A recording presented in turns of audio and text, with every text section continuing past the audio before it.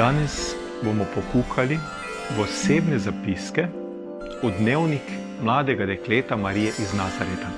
Ja, Jezusove mamice, ampak zdaj še ni mamica, to se bo zgodilo šele kasneje.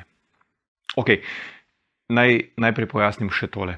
Ne, ne gre za kakšno novo, dragoceno arheološko najdbo. Ne, seveda ne vemo, če je Marija res pisala dnevnik, verjetno ne. A glede na to, kar izvemo iz evangelijev in drugih krščanskih virov, bi lahko bilo tudi tako.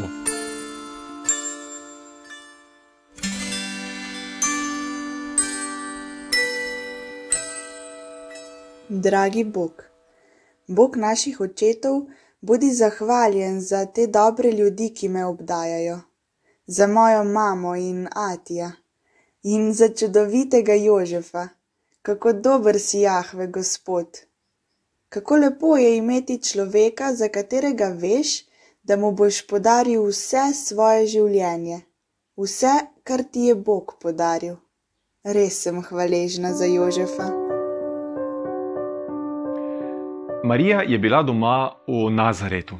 To je majceno mestece na severu Izraela, sredi poti med obalo Sredozemskega morja na zahodu in Genezareškim jezerom. Nekaj dni potovanja do glavnega mesta Jeruzalema.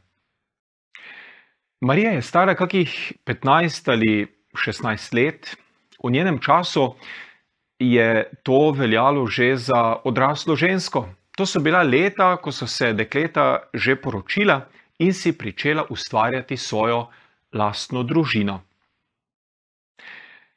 Marija omenja dobre ljudi, ki jo obdajo. Marija ima v mislih mamo Ano in očeta Joahima.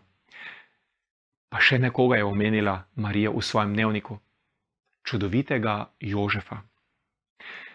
Jožef živi nedalec stran, tudi v Nazaretu.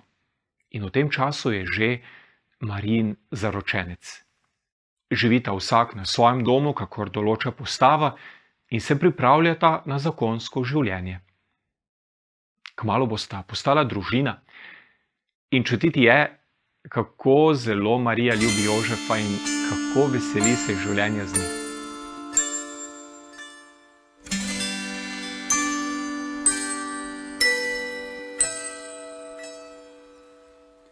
Še sedaj nisem čisto pri sebi. Kaj je to sploh mogoče? Če bi se to zgodilo pozno zvečer ali zgodaj zjutraj, bi to pripisala svoji dremavosti in bi si rekla, da sem sanjala. Tako pa se je zgodilo sredi jasnega dopoldneva. Vse je bilo tako razločno. Kaj neki si je moral misliti, ko mi je metla kar iz rok padla?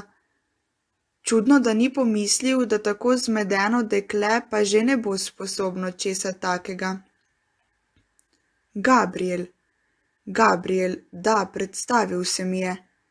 Zdrava Marija, milosti si polna, Gospod je s teboj. Rodila bom Božjega sina, Mesija, ki so ga moji očetje pričakovali že vsaj nekaj stoletij. Kralj je kraljev, ki bo rešil ljudstvo. No, naj se zgodi, če je Gospodu tako prav sem mu to odvrnila. Skrbi me. A zaupam Gospodu. On že ve, kaj je prav in bo naredil, da bo vse dobro.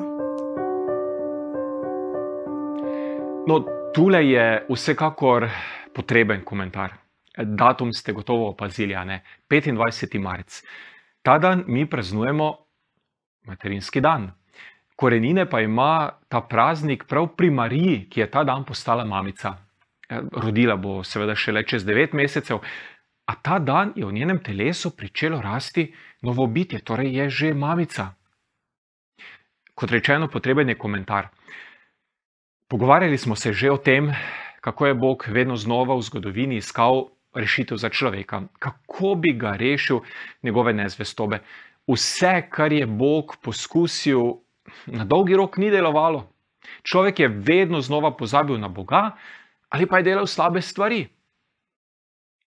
Zato je Bog sklenil na svet priti kar sam. in človeka rešiti dokončno in za vse čase. Sveda je imel veliko priložnosti, kako to narediti, se je vendar Bog. Ampak se je odločil, da bo prehodil celo pot človeka.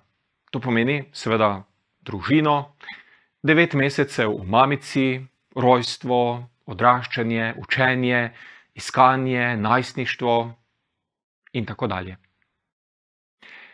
No, in Bog si je zamislil, da bi Jezusova mama postala mlada Marija.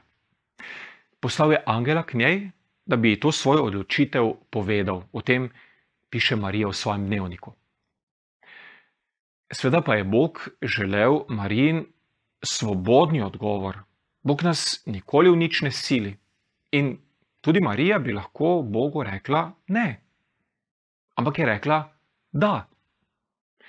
Seveda, zaskrbelo jo je in seveda ni razumela vsega, a zaupala je Bogu in sprejela je božji načrt.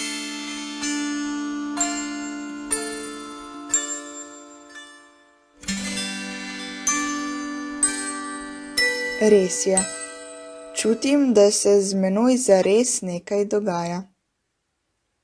Bog bo torej res izpolnil svoje obljube. Pod mojim srcem je res življenje. Božji sin, to je neverjetno. Toda, kaj neki bo dejal moj dragi Jožef? Ali bo razumel?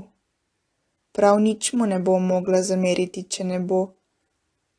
Koliko vprašanj se je zadnji teden rodilo v mojem srcu. Moja dosedanja leta so bila kakor poležavanje na cvetoči livadi v primeru s tem, v kar sem se sedaj podala. Saj je velik izziv, velika milost, toda niti mami ne morem govoriti o teh stvareh. Bog, hvala ti za mojo teto. Elizabeta je res čudovita, prava modrost veje iz nje. Vedno, ko me obišče, pravi, da mi ni nič prinesla, ker nima nič. Ko bi vedela, kako veliko mi prinaša vsakič. Njene besede so kakor najdragocenejši biseri. In kdo bi me v tem trenutku bolje razumel kot ona, ki je tudi noseča in pri svojih letih? Da, Bog jo je slišal. Bog vedno uslišuje svoje služabnike. Iz svetega pisma izvemo za Marino bližnjo sorodnico Elizabeto, morda je bila celo njena teta. Dolgo sta Elizabeta in njen mož Zaharija čakala na otročka. Veliko sta molila, preden se je naposled zgodilo. Janez Krstnik je njun otroček. Dobro ga poznamo iz svetega pisma. Ne, ljudi je vabil k spreobrnjenju, eh, krščeval jih je v Jordanu, tudi Jezusa bo krstil, no ampak to bo šele veliko, veliko, veliko kasneje. Kot rečeno, sedaj je Janez še v trebuščku svoje mamice Elizabete, ne, pod marinim srcem pa tudi raste novo življenje Jezus. Marija se je torej odpravila na obisk k tej svoji sorodnici, da bi ji pomagala v njeni nosečnosti in pri porodu. Hkrati pa je bilo Mariji zelo dragoceno, da se je lahko s Elizabeto pogovarjala. Marija je Elizabeti zelo zaupala, ker je bila modra žena. No, potem, ko je Elizabeta rodila, se je Marija vrnila na svoj dom. Ampak medtem se je že precej jasno pokazal tudi Marijin trebušček. In seveda Tudi Jožef je opazil.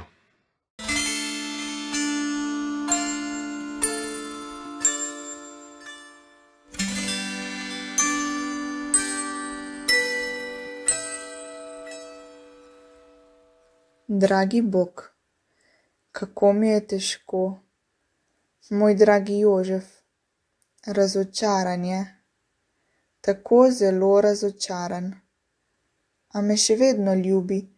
Čutim, da me, a vem, kako ga boli. Samo molči. Toda zakaj le molči? Zakaj nič ne reče? Zakaj ničesar ne učita? Ob njem, ki ga imam tako zelo rada, mi je naenkrat zelo neprijetno in nelagodno. Kar gleda me s svojimi ljubečimi očmi in v njih lahko gledam vso dobroto njegovega srca. Moj dragi Jožef, moj najdražji. Ničesar ni kriv, ničesar mu ne morem očitati, pravzaprav je sprejel z velikim razumevanjem. Predlaga, da se mirno in tiho razideva. Kot rečeno, Marija in Jožef sta bila že zaročena. To je v njunem času pomenilo praktično, da že pripadata dokončno drug drugemu. Ampak kot zaročenca še nista živela skupaj in tudi spala nista skupaj. Ko je Jožef opazil, da je Marija noseča, je bil seveda zelo razočaran. Zelo boleče je bilo to zanj, saj je Marijo neizmerno ljubil. Zelo težko je bilo tudi za Marijo, saj je tudi ona ljubila Jožefa. Kako težko je bilo razlagati Jožefu ne, o angelu in o tem, da ga ni prevarala, ampak da je otrok, ki raste v njenem telesu, božji sin, da je Bog očitno naredil čudež. Sveda je Jožefu vse to povedala, ampak težko je bilo to verjeti. Vse to je zvenelo, kot da se Marija samo izgovarja.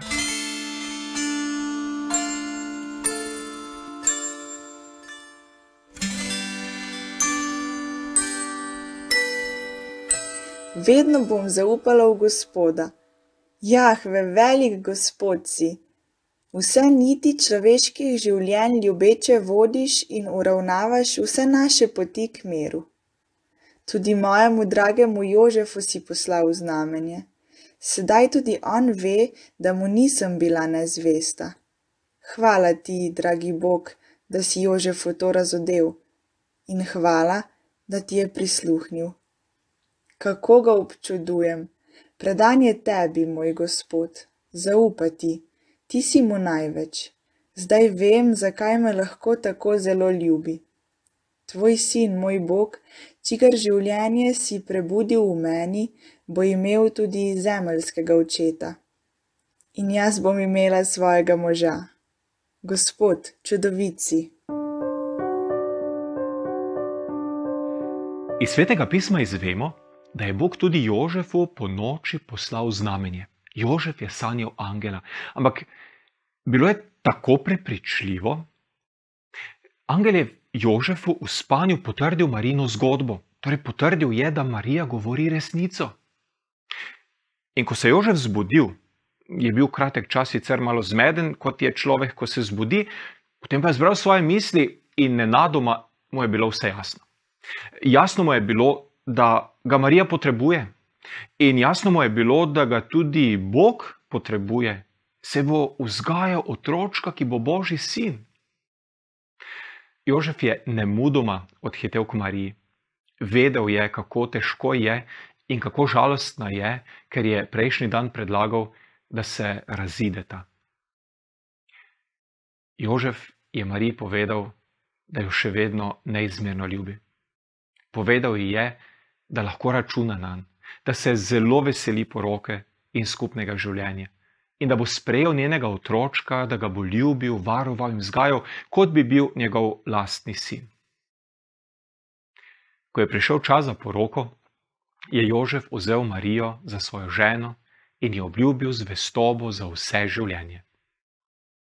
Tudi o tem je Marija na kratko zapisala v svoj dnevnik.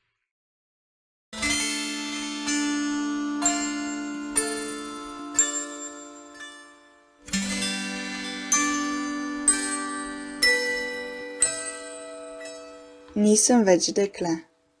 In soveščani ne bodo kazali s prstom name. Moj dragi Jožef in ti vsemogočni Bog, ki vodiš človeška življenja, sta me rešila. V tvoji dobroti vem, o Bog, da bo beseda, ki mi jo je danes izrekel moj dragi Jožef, sedaj moj mož, trdna in da bo večna, kakor si večen ti, ki si ver vsake ljubezni in vsake zvestobe. Od danes sva mož in žena. In ti si med nama kot večna vez s svojo neskončno dobroto. Gospod čudovici, Pomagaj mi, Gospod, da ga bom ljubila in spoštovala vse dni svojega življenja. Pomagaj mi, da mu bom dobra žena in trdna opora. Blagoslavljaj najn dom in bodi z nama. In blagoslavljaj tega malčka, ki bo počasi pričel svojo pot. Naj mu bova dobra starša in modra vzgojitelja. Vse se še spomnite 25. marca. Takrat se je pričelo novo življenje pod Marinim srcem. In devet mesecev, bližal se je 25. december. Po rimski provinciji Odeji pa se je razširila novica o tem, da rimski cesar zahteva popis vseh prebivalcev velikega rimskega cesarstva. Rimski vojaki so razširili razglas in nobene izjeme ni bilo. Vsi so morali iti v kraj, odkuder je izvirala njihova družina. Jožef pa je bil daljni potomec judovskega kralja Davida, ki je bil doma iz Betlehema. In to je seveda pomenilo, da morata Marija in Jožef prav tja, tja daleč na jug, v Betlehem. Preden sta se odpravila na pot, je Marija na kratko zabeležila še nekaj svojih misli.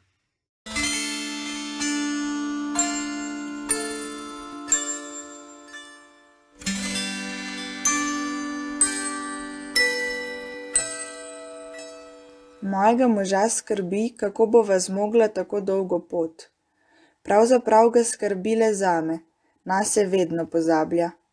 Tudi če bi sam moral iti pet let daleč, bi bilo to zanj manj kot petdnevna pot, ki naj jo čaka do Betlehema. Vse je poskusil pri uradnikih, nobenih izjem so dejali. S tvojo pomočjo bo šlo, vsemogočni Jahve, Gospod čudovici. Marija in Jožef sta spakirala stvari za nekaj dnevno pot in se ne mudoma odpravila proti jugu. Betlehem je bil daleč, Marija pa tik pred rokom. Jožef si je omislil oslička, da bi malce olajšal pot svoji ženi. Hodila sta po poti, kjer je potovalo veliko ljudi. Tako je bilo seveda bolj varno. Verjetno sta se odpravila najprej proti vzhodu, do doline reke Jordan, potem pa ob reki proti jugu, proti starodavnemu mestu Jeriho, najstarejšemu mestu na svetu. Od tam pa znova proti zahodu, čez hribe, proti glavnemu mestu Jeruzalemu.